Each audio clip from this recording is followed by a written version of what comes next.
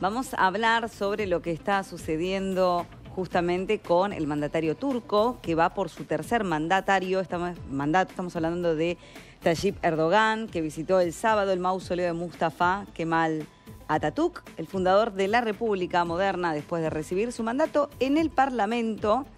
Su nuevo mandato de cinco años le va a permitir justamente continuar con las políticas cada vez más autoritarias que han polarizado al país miembro de la OTAN, pero fortaleció su posición como potencia militar regional.